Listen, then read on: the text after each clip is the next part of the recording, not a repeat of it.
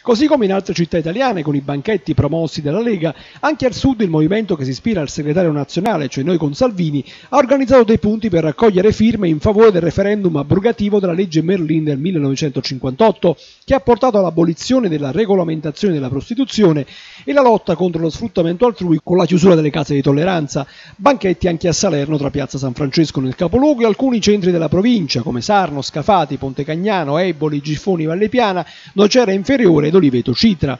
L'idea, come ha spiegato il coordinatore provinciale di Noi con Salvini Falcone, è quella di regolamentare il settore per combattere il degrado e preservare la salute pubblica.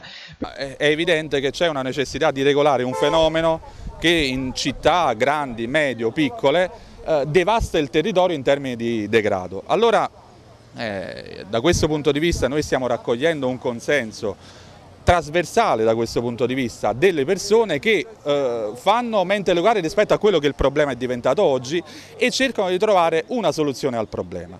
È evidente che negli altri paesi, parliamo di Regno Unito, parliamo di Germania, parliamo di Paesi Bassi, questo problema è stato regolamentato.